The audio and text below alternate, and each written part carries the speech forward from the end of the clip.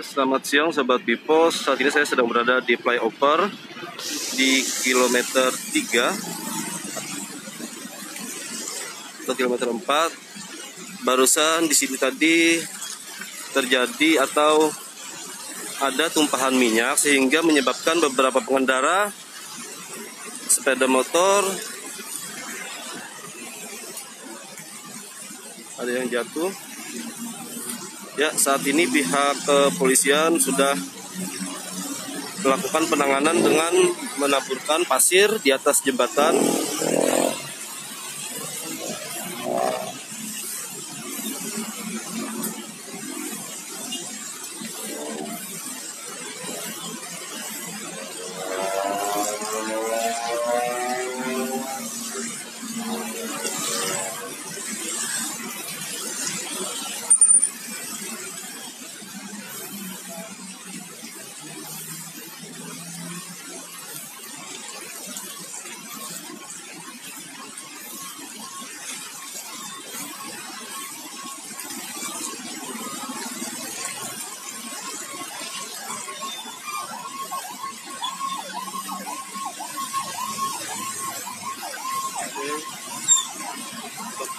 Siapa yang bisa ngomong bang? Gimana biar menjelaskan ini dia penanganan senior kami. Bang izin bang. Suaranya yang anu aja ulun ini kan live report live report. Jadi penanganan yang dilakukan apa gitu makanya suara ulun kita. Di pastoran aja. Suara ulun yang kita memungkinkan lagi batuk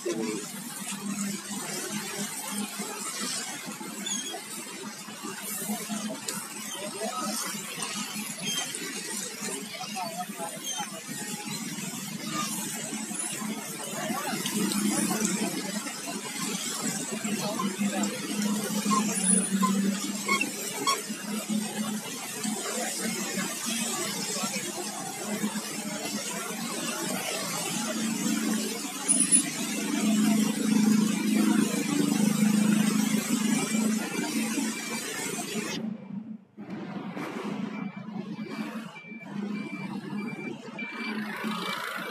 sobat bipos lihat di sini pihak polisian sudah menyebarkan pasir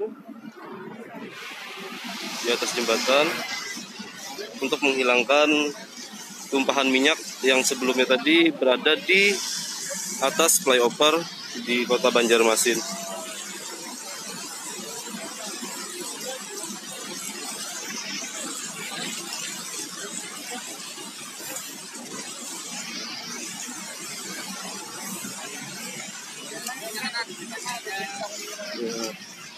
Ya bang, izin bang.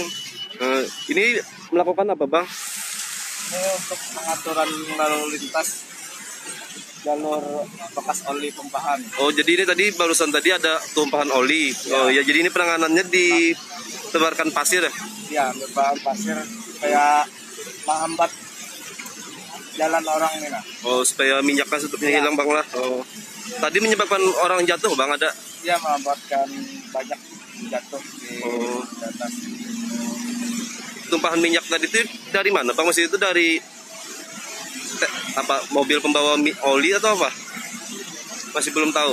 belum tahu dari positifnya belum tahu dari mana olinya terus tiba-tiba ada oli ada, ada yang jatuh korban Oh sudah ada makan korban lah. ya Ini tadi berapa karung pasir bang? dua karung Oh dua karung lah. Ya. Oke makasih banyak bang. ya Nama lengkapnya siapa? Chandri itu Chandri Oke, ya, makasih banyak bang. ya, ya. Terima kasih. Ya, sobat Bivos. saya ulangi, saat ini saya berada di atas jembatan flyover Banjarmasin, kilometer tiga setengah empat. Hmm, saat ini polisi sedang mengatur lalu lintas karena di atas jembatan sedang ada melakukan proses penaburan pasir untuk menghilangkan tumpahan oli yang sebelumnya ada di atas jembatan flyover yang mengakibatkan beberapa pengendara berjatuhan di atas flyover ya. Hmm, ya. Cukup sekian, terima kasih. Live report dari saya Hidayat, reporter Banjarmasin Pos. Wassalamualaikum warahmatullahi wabarakatuh.